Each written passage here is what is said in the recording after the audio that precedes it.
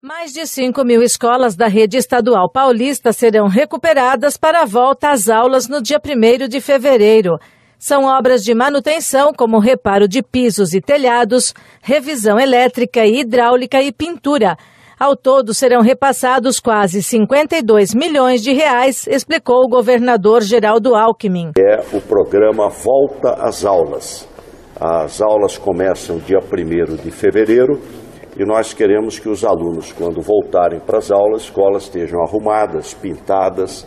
Então, nós estamos fazendo um convênio, doutor Naline, nosso secretário da Educação, com as uh, ah, APMs uh, eh, de todas as escolas. Estamos investindo 50% a mais de recurso do que no ano anterior.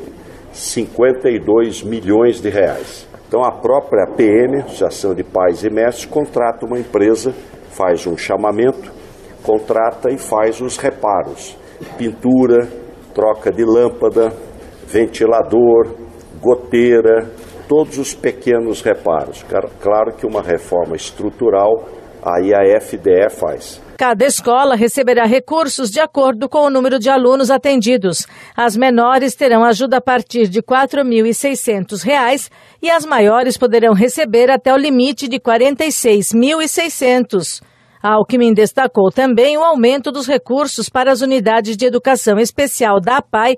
As APAIs têm um trabalho meritório, com uma boa expertise, décadas e décadas de trabalho, e nós aumentamos a nossa eh, parceria, 23% a mais. Era R$ 3.500 por aluno ano, passamos para R$ 4.304 por aluno ano. O programa Volta às Aulas é realizado nas escolas do ensino fundamental e médio, além dos centros estaduais de educação de jovens e adultos.